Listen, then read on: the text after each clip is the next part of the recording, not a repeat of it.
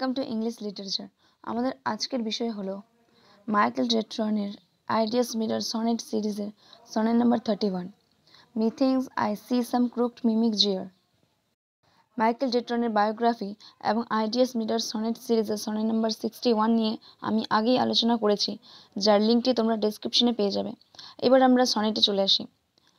Methinks I see some crooked mimic jeer মনে হয় আমি কিছু নকল করা লোক দেখেছি। And tax my muse with this fantastic grace এবং আমার কাব্যশক্তির চাপ দেয় এইসব চমৎকারকে নিয়ে লিখতে। Turning my papers ask what have we here আমার কাগজপত্র পাল্টে জিজ্ঞেস করলাম, এখানে কি আছে? Making withal some filthy antic face তৈরি করে নানা রকমের নোংরা চেহারা। কবি এখানে তাদের কথা বলেছেন, যারা কবিকে নিয়ে সমালোচনা করে বেড়ান। আসলে এই সনেটটি কবি সমালোচকদের নিয়ে লিখেছেন।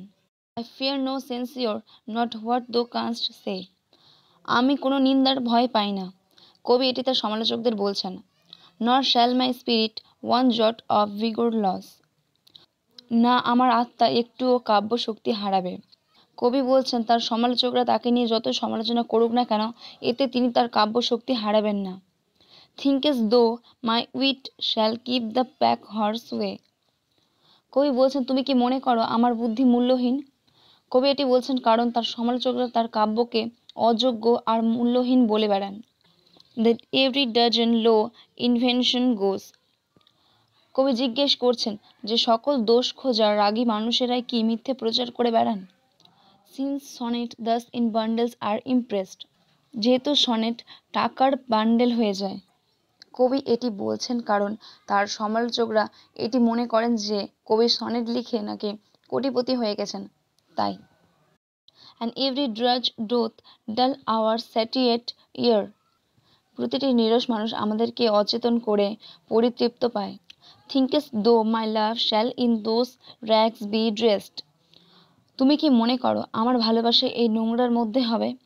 That every dowdy ever duffer doth wear যে সব অশিক্ষিত বোকা মানুষেরা এটি মনে করে থাকে। Up to my pitch no common judgement flies আমার মান মর্যাদা কোনো সাধারণ রায় উঠবে না। কবি এটি তার সমালোচকদের বলছেন যে, তাদের এসব সমালোচনার দ্বারা তার মান তার মান মর্যাদা ডুবে যাবে না। I scorn all earthly dung bred scarabs আমি সমস্ত পার্থিব গোবর জাতের নিজ পোকামাকড়কে ঘৃণা করি। কবি, পার্থিব গোবর জাতের নিজ পোকামাকড় বলতে তার নোংরা সমালোচককারীদের বলছেন, যারা কবিকে নিয়ে নানা রকমের বাজে কথা রটিয়ে বেড়ান। ছিল সনেটটি আশা করছি তোমরা সনেটটি বুঝতে পারবে। আবার দেখা হবে তোমাদের সাথে নতুন একটি ভিডিওর সাথে।